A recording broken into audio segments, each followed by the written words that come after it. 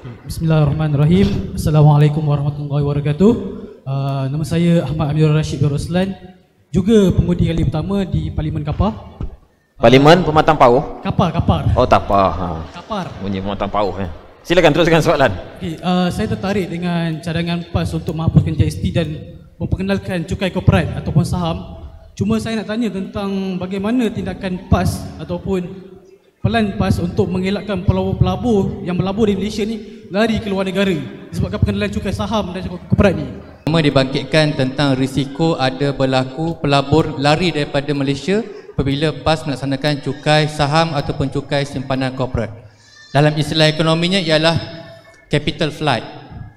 Dan saya nak sebutkan di sini bahawa apabila kita merangka cadangan ini, kita libatkan uh, tenaga pakar bekas uh, CEO, bekas uh, pensyarah, industri players dan sebagainya. Saya nak sebutkan bahawa dalam konteks dan banyak saya terima respon-respon susulan daripada forum saya dengan Merdeka Center tentang cukai ini juga tentang market crash, market distortion, capital flight dan sebagainya. Saya nak sebutkan di sini konsep yang PAS bawa dalam cukai alternatif ini ialah 2.5% ke atas lebihan kekayaan.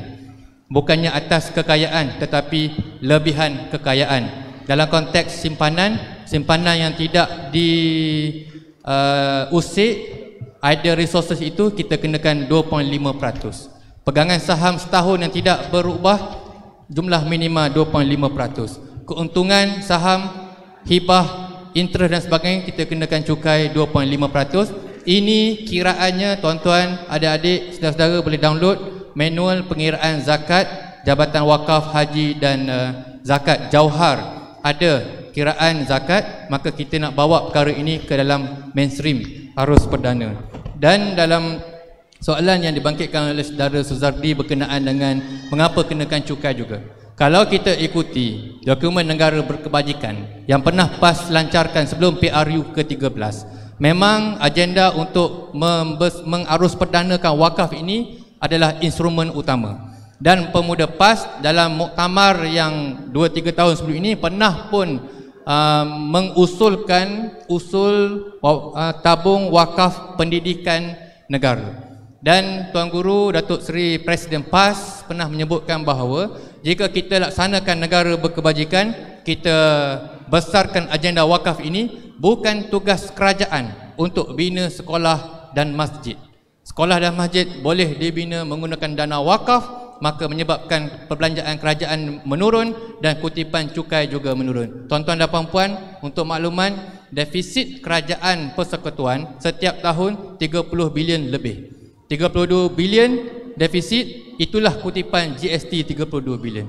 38 bilion tahun ini defisit kutipan GST juga 38 bilion. Kalau ikut matematik kiraan mudah Ustaz Afnan jika tidak ada defisit tidak perlu kutip cukai GST Menteri Kewangan pada pembentangan bajet akan datang ini pematang pauh atau pegombak boleh buat satu usul. Kita akan istiharkan kadar GST 0% bermula tahun hadapan dan insya-Allah selepas itu Selepas itu kita akan rombak balik sistem cukai ini. Kita bina balik sistem ekonomi Islam yang di mana strateginya ialah dasar penjimatan keutamaan ataupun aulawiyat yang ketiganya wakaf. Yang keempat disebutkan oleh Tuan, uh, Tuan Guru Presiden cukai ini adalah darurat. Maknanya yang terakhir. Dan Ustaz Khalil boleh berkongsi dengan kita bagaimana pernah berlaku di zaman khilafah dahulu. Ada situasi di mana kerajaan Islam mahu diperang, mahu diserang oleh musuh dan raja ketika itu memohon para mufti, para ulama untuk memberikan fatwa dan sebagainya.